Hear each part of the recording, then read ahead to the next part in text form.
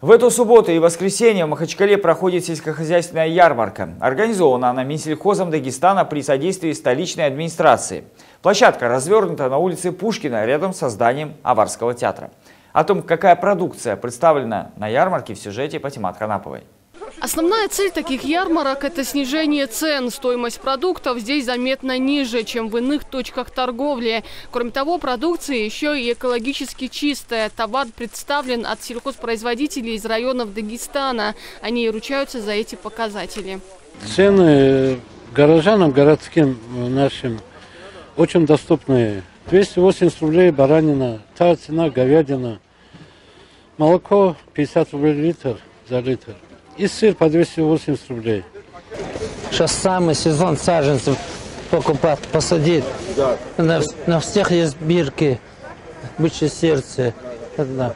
Жители и гости города могут приобрести здесь мясную и молочную продукцию, овощи, фрукты, мед, рыбу, сухофрукты и многое другое. Ярмарка хорошая, продукты хорошие, цены нормальные устраивают.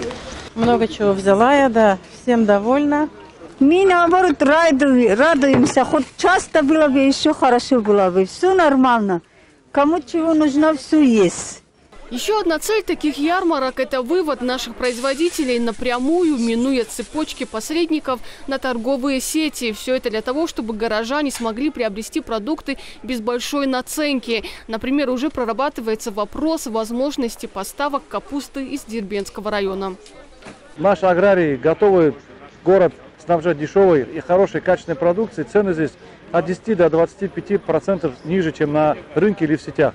Поэтому цель этой ярмарки э, дать горожанам дешевый, хороший, качественный продукт.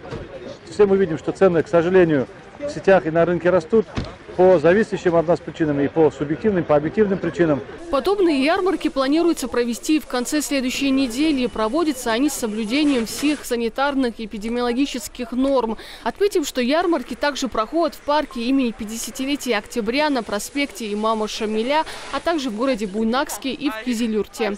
Патимат Ханапова, Дауд Гасанов, Новости ННТ, Махачкала.